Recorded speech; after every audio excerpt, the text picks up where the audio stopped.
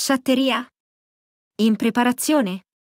Ilari Blasi e Alvin ci ridono su, dall'alto di ascolti che danno loro ragione, visto che il pubblico di Canale 5, al di là delle polemiche, numeri alla mano, sembra apprezzare molto la nuova coppia alla guida di Battiti Live. La kermesse musicale Made in Puglia, nella puntata di lunedì 29 luglio fa tappa con il palco principale in quel di Otranto. Ad aprire la serata, come di consueto è la conduttrice che sale sul palco e apre le danze con una nota climatica. Fa un caldo incredibile, prima di entrare avevo gli svarioni, ma presentiamo chi gli svarioni ce li ha sempre, Alvin. Il compagno d'avventura raggiunge Ilari Blasi sul palco mentre lei insiste, dal lontano 1977. Il conduttore a questo punto si difende. Ah, dovrei avere gli svarioni per la vecchiaia, ma guarda che io ho solo quattro anni più di te, ma ne dimostri molti di più, dice la collega, percepiti molti di più dopo una serata con te. In effetti sembriamo due vecchietti che litigano.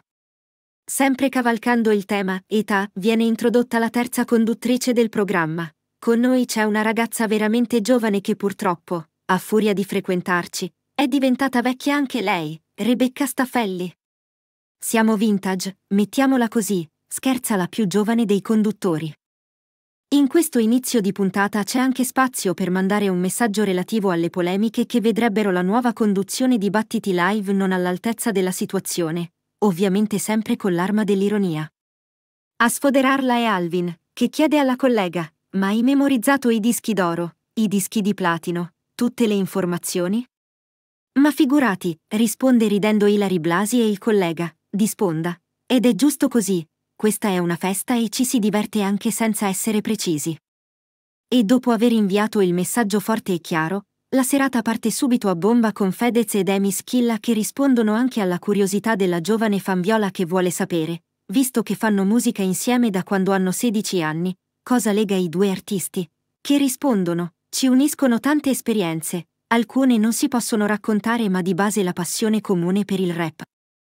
Subito dopo arriva sul palco la regina del rock italiano, Gianna Nannini con cui i due conduttori non rinunciano a scattarsi un selfie d'ordinanza con il pubblico alle spalle.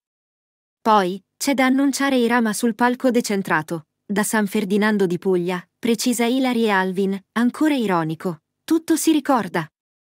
Si divertono insomma, sul tema. Il video finisce qui, ma se sei interessato alle news puoi iscriverti al canale e attivare la campanella per non perderti nuovi video.